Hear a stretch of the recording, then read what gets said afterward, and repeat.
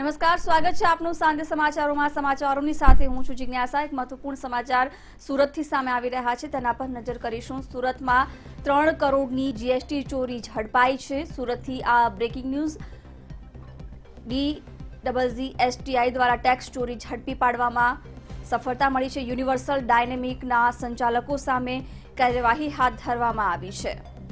ત્રણ કરોડની જીએસટી ચોરી ઝડપાઈ છે. બોગસ બિલિંગ કરી અગિયાર કરોડની ટેક્સ ક્રેડિટ માંગી. તો આ મહત્વના સમાચાર હાલમાં સામે આવી રહ્યા છે. સરકાર પાસેથી ત્રણ કરોડ રૂપિયા મેળવી પણ લેવામાં આવ્યા છે.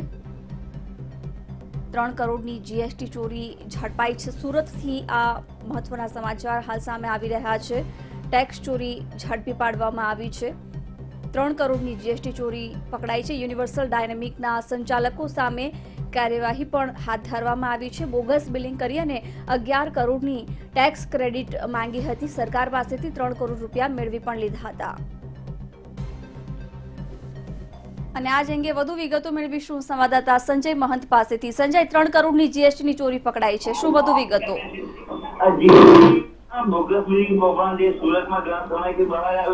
છ. મહિનાથી સેન્ટ્રલ જીએસટી તપાસ કરી રહી છે. અને બોગસ બિલિંગ કૌભાંડ ક્રમશઃ સામે આવ્યો છે, ત્યારે ફરી એકવાર બોગસ બિલિંગ થકી જીએસટી રિફંડ મેળવવાનો જે મામલો છે એ સામે આવ્યો છે. અગિયાર કરોડનો રિફંડનો દાવો કરવામાં આવ્યો હતો, જેમાં ત્રણ કરોડ રૂપિયા રિફંડ મેળવી પણ લેવાયું છે. ત્યારે સમગ્ર મામલે સેન્ટ્રલ જીએસટીના જે અધિકારીઓ છે, તેઓએ તપાસ હાથ ધરી છે અને તમામ દસ્તાવેજો કબજે કરીને જે જીએસટી ચોરી કરવામાં આવી છે, તેની સામે કાયદેસરની કાર્યવાહી કરવાની જે કામગીરી છે એ શરૂ કરવામાં આવી છે.